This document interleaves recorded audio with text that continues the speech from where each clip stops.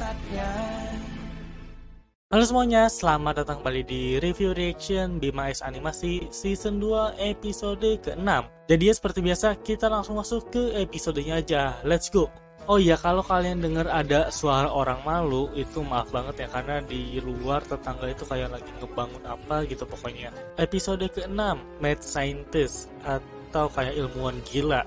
Loh, ini kok dokter Pre ya? Oh sama Matrix itu udah lama banget kita nggak ngeliat Matrix. Oh kayaknya tujuan utama si dokter Pre dari awal tuh emang buat ngebangkitin si Rose ya. Eh nggak juga sih, kan ini scene di season 1 itu si Rose tuh masih hidup. Tapi ya emang tiba-tiba tewas aja. Nah si dokter Bray itu kayak marah sama Eagle karena gak bisa ngelindungin si Rose. Eh kok Rose sih? Lucy nama istrinya tuh. I know what you are doing. Oh, ini ada yang kayak ngirim blackmail gitu loh. Tadi dibilang namanya Scar. Iya juga sih, siapa yang nyangka ya. Wabah Growler itu ada karena ilmuwan nomor satu di dunia. Oh, pasukan-pasukan robot tuh buatan si Scar ini. Dia pengen nyempurnain project Growler si Dr. Bray. Oh, akhirnya ya si Dr. Bray itu mau nggak mau ikut si Scar ini. Oh lah ini scene yang di episode kemarin. Tapi kayak cuma sekilas dan ini adalah versi fullnya. Iya kan kalau kemarin itu kita taunya ya Dr. Bray ya udah dia sendiri doang. Tapi taunya emang ada temennya yaitu si Scar. Wah gila ya ini para Maverick ini bener-bener dijadiin kelinci percobaan banget sama si Scar.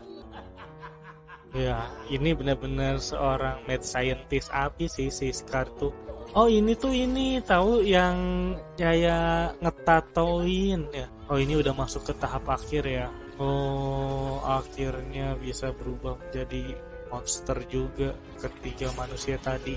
Superior slave atau budak super ya. Oh bener-bener pada nurut. Wah gila si Bre ini dia bener-bener cuma dimanfaatin sama si Scar. Oh ini ya pikirannya masih ada ya. Gak bener-bener dikontrol secara utuh. Wah, apakah ini tandanya si Profesor Scar ini mati?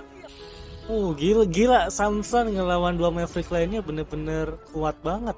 Oh, ini tuh jadi pas ingatan para Maverick itu kembali dan akhirnya mereka bertiga kabur ya. Oke, gimana menurut kalian? Apakah si Profesor Scar itu mati di sini? Tapi menurut gue sih enggak. Dia pasti bakal bangkit lagi atau bakal muncul lagi di episode-episode ke depannya. Wah gila, si Infernus keren banget sih.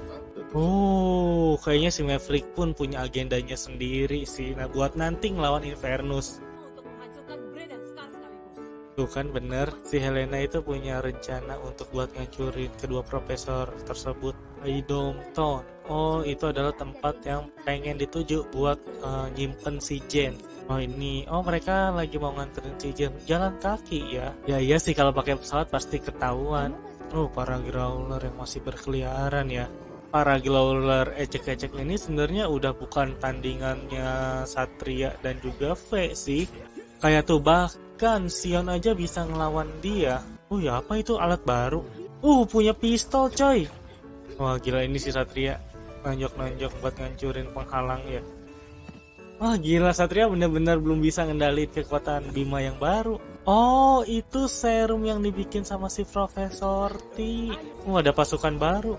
Siapa ini bapak-bapak? Oh ini yang waktu di season 1 kan yang nyuri pesawatnya si Aurora. Yang kalau nggak salah dia itu pengen nyelamatin anaknya yang lagi sakit ya. Oh, si paman ini bekerja di Haydom Town ya. Oh, jangan-jangan si paman ini yang bakal jadi orang tua angkatnya si Jen. Oh, orang baru nih, Arthur Heidenberg, presiden dari Haydom Town.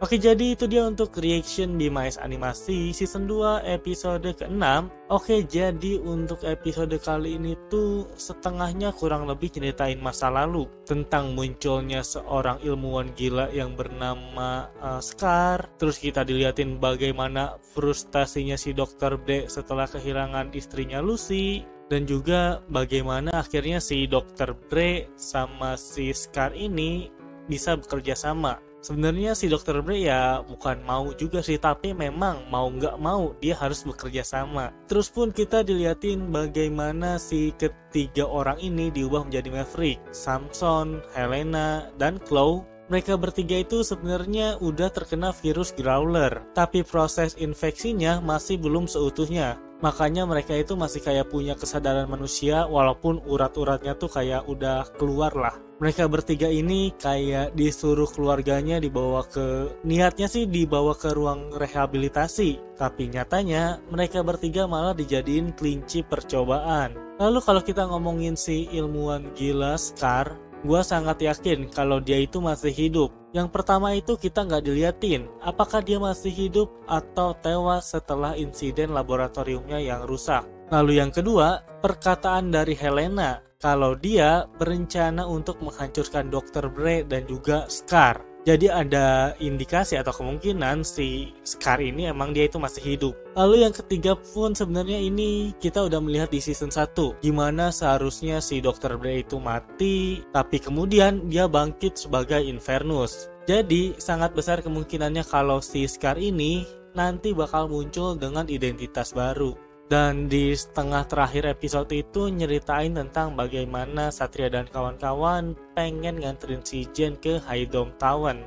Yang secara tidak sengaja di sana mereka ketemu dengan paman yang ada di season 1 Gua lupa namanya siapa. Oke jadi kayaknya cukup sekian aja ya Untuk review episode 6 dari Bima S Animasi season 2 Jadi sekali lagi terima kasih banyak buat yang udah menonton Dan sampai berjumpa di video-video berikutnya. Bye bye Ciao